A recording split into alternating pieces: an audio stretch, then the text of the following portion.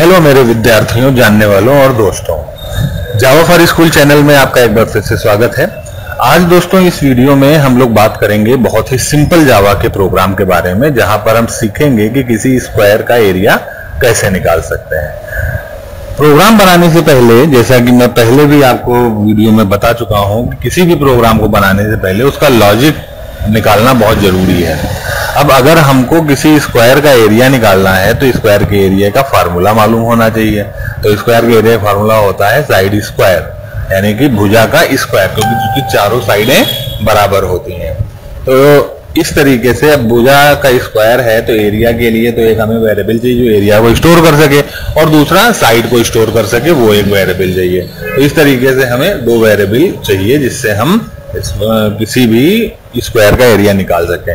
तो इसके लिए क्या करते हैं कि सबसे पहले एक क्लास बना लेते हैं। क्लास का नाम रख लेते हैं स्क्वायर एरिया अब इस स्क्वायर एरिया क्लास में हम ओपन कर लेते हैं इस क्लास को। और ये हमारे पास प्री डिफाइंड कोड यहाँ पे आ जाता है बन के इसे हम कंट्रोल ए से हटा देते हैं डिलीट कर देते हैं। और यहाँ पे हम सिंपल लिखते हैं आज दोस्तों हम लोग जो है, इसे बनाते हैं कमांड लाइन आर्गूमेंट के थ्रू तो हमको जो है जावा डॉट आईओ इम्पोर्ट करने की ज़रूरत नहीं है। सीधे लिखते हैं क्लास स्क्वायर एरिया इसके अंदर आते हैं और यहाँ पे हम मेन को डिफाइन करते हैं public static void and main इसमें हम पास कर देते हैं इंट साइड। तो स्क्वायर की साइड हमने यहाँ पे पास कर दिया। कमांड लाइन आर्गुमेंट क्या होता है दोस्तों कि प्रोग्राम रन होने से ठीक पहले ये हमारे आर्गुमेंट की वैल्यू को एक्सेप्ट करता है डिमांड करता है। तो उसको हम वैल्यू वहाँ पे प्रोवाइड कर देते हैं। इसके लिए यहाँ पे एक हम लेते हैं इंट ए फॉर एरिया अब एरिया कैलकुलेट करने का फार्मूला है side into side area calculate होने के बाद अब हमको इसे प्रिंट कराना है system dot out dot println और यहाँ पे हम कह देंगे कि एरिया ऑफ़